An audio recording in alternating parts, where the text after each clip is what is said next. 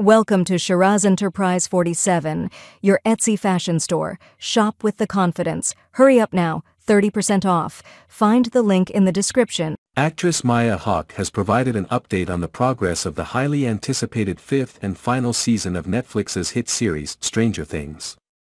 Speaking with Deadline, Hawke, known for her role as Robin, described the ambitious scale of the upcoming season, likening it to producing eight movies. The journey to bring season 5 to fruition has faced challenges, including production delays due to the COVID-19 pandemic and a writers and actors strike in 2023. Despite these setbacks, filming for the final season began in January 2024, aiming to deliver a grand conclusion to the beloved sci-fi saga. In her interview with Deadline, Hawke humorously acknowledged the series' tumultuous production history, quipping, this show has been a little bit cursed. She praised showrunners Matt and Ross Duffer for their meticulous approach to storytelling and production. Our showrunners, Matt and Ross, take a lot of responsibility.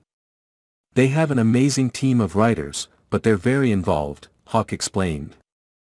They write a lot and they are very intense and serious about the quality of the continued writing, and it takes a long time to write each season, and it takes a long time to shoot them. Hawke highlighted that the episodes in Season 5 will be substantial in length, contributing to the cinematic feel of the season. With eight episodes planned, she projected that filming would span approximately a year, underscoring the meticulous nature of the production process. Reflecting on her character Robin's evolution, Hawke previously expressed her desire for Robin to have a significant narrative arc in the final season, including a potential heroic moment. She also shared her thoughts on Robin's storyline involving a romantic relationship, balancing the impact on character dynamics and screen time with co-star Joe Keery's character Steve.